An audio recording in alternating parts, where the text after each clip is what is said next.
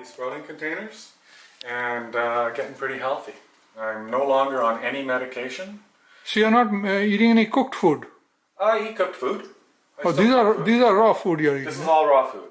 I make sure I have at least 35% raw in my diet. I'm closer to 50% raw now Oh, because I'm starting to not like meat. right? It's just, I think the more you go green, the less you like meat. It just is a natural occurring thing, right? right, right. Um, even my roommate is almost like off of meat now. Like we have meat twice a month, maybe now, right? So, you know, my roommate comes home from work, and the first thing, boom. So straight in. explain which one is what? What is this? What are these? Th- These are blends. Blends. Yeah, these are blends. All So you put seeds mixed blended. seeds and uh, let it Basically, this is my seed drawer, right? And like I have canola in here. I have a, a, spring salad, Eastern blend broccoli, daikon radish, lentils, mung beans, uh, brash, brasha broccoli blend. What's that? That's mustard. Uh, that's another empty thing of mustard. That's uh, buckwheat. I do sunflower shoots too, and peas. Um, I do have wheat, but I only use this wheat to show people why they shouldn't be eating wheat. And the whole reason is, is if people are familiar with rock candy when they were kids, we had a rock candy with solid sugar, mm-hmm. and it was solid sugar, and you could eat it, and it was it had a particular sugar flavor. Well, it's wheat. It's sugar from wheat, and when you sprout the wheat and have a bite of it, it'll remind you of rock candy as a child because it tastes just like rock candy. It's that sweet. There's that much sugar in it. This is why we shouldn't be eating wheat. It's inflammatory. All sugars are inflammatory. Doesn't matter whether it's organic cane sugar for your coffee, it's still inflammatory. Use it Very sparingly. very sparingly. And do you add salt or something to make them taste or just just just like that? Basically, what I do is I take, I'll take a tray of sprouts like this, and I'll put half on one plate, half on the other plate. Uh-huh. Then I'll add some nuts, Nuts. some dried blueberries, maybe. Uh-huh. I'll shave some Parmesan cheese. I'll squeeze a lemon on it, and you're golden. That's a meal. Oh, I see. Mhm.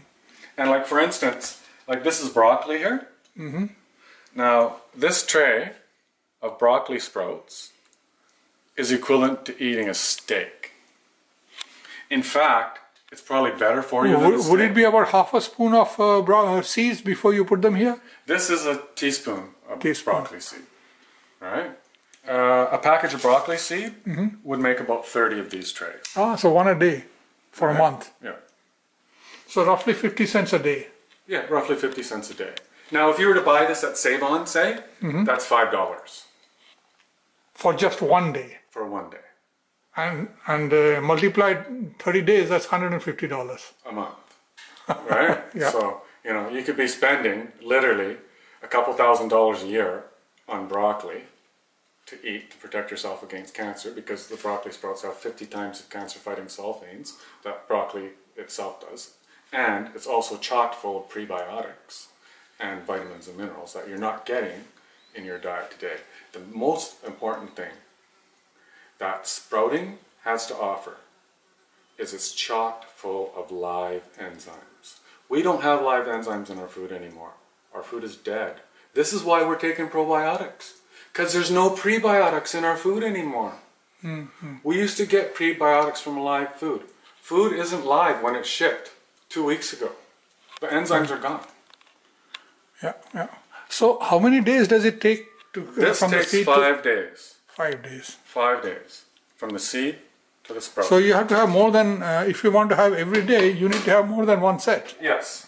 What I do is I basically run six and I eat the bottom tray. Oh, run, run six trays. Yeah, I run six trays. Right? And the top one is the newest one, and the bottom Bottom one. one is the newest one. What I'll do is I'll eat the bottom tray. Uh huh. I'll clean it, Uh huh. put it on top, put more seed in it, fill it with water. The water goes down through every tray, waters them all, and then the bottom tray I feed my house plants.